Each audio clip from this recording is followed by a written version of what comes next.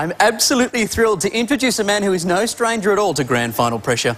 He's the winner of Britain's Got Talent and now a global singing sensation. Ladies and gentlemen, Mr. Paul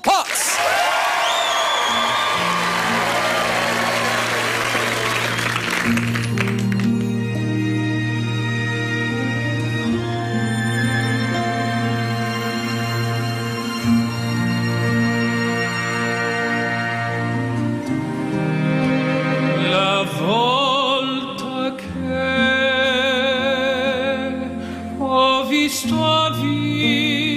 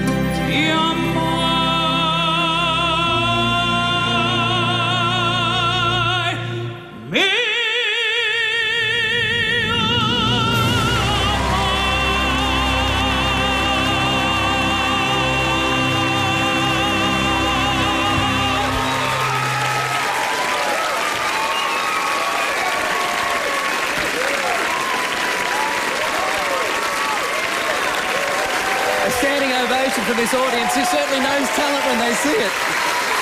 Your debut album was simply amazing. It's um, number one in 13 countries. It went platinum 27 times. This is the brand new one uh, called Passione. Is that how you pronounce it? Somewhere around there. Something like that.